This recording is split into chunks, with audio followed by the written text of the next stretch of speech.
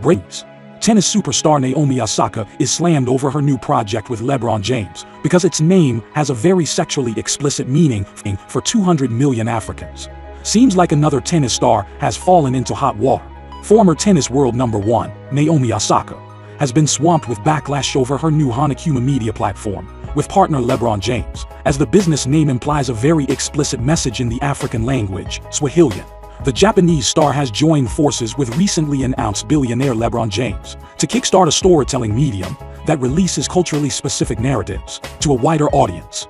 Hanakuma, which translates to flower bear in Japanese, is another venture of Osaka's, who became the world's highest paid female athlete in 2020, earning $37 million. In Swahilian, a East African language spoken across 14 countries, like Kenya and Tanzania, the native phrase is barely whispered, as it means a woman with no vagina. Many East African supporters of Osaka have asked that she change the name of her new venture to respect the language miscommunication. If you keep the name, the name will override the news and the stories you wish to share. The name of the brand is already news. I suggest a change and also, just being a bit respectful to global culture.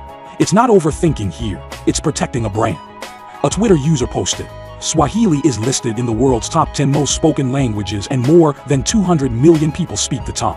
On June 22nd, Osaka tweeted prayers for all my overthinkers. We be going through it. Whether a direct comment on the discourse surrounding the name, the production company has the intention to empower people from many different walks of life.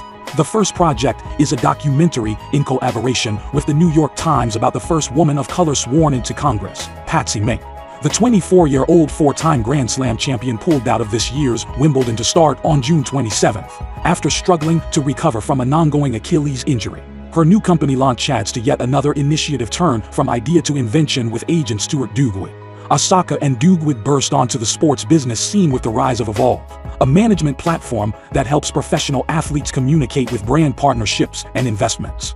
Aussie tennis hothead, Nick Kyrgios, was the first star to join the company. As Osaka said the Australian was a player who transcends their sport, with unique style, passion, and personality. Meanwhile, four-time finals MVP and champion LeBron James has become the second NBA player to amass a net worth of $1 billion. The Spring Hill Company, founded by James and his business associate Maverick Carter, will help fund, operate, and produce content for the Hanakuma startup.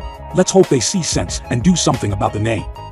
Thanks for watching, and make sure to subscribe to the channel for more up-to-date news within the tennis world.